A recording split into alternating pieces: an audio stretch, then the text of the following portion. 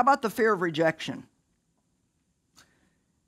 You know, Jesus told his disciples in Luke 10 whenever you go into a town and they don't receive and accept and welcome you, go out into the streets and say, Even the dust of your town that clings to our feet, we are wiping off.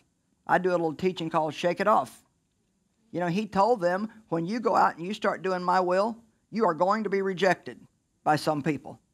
You are going to be rejected. And what happens to a lot of people is let's just say maybe they hang out with this group of friends and they're all just going nowhere and they're just living lousy lives and doing all kinds of wrong things. And so one person decides that they want to get their life straightened out and they come into a relationship with Jesus. Well, if you, if you take a stand for your new life, the first thing that's going to happen is all of your old friends are not going to want anything to do with you anymore.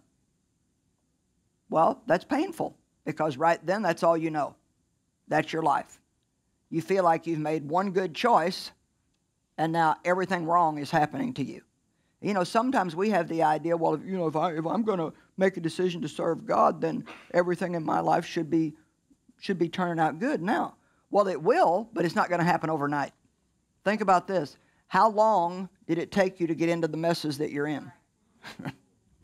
so surely we can give God equal time that we gave to the enemy in serving him.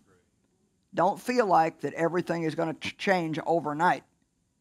You're going to have to let God work with you and refuse to ever give up.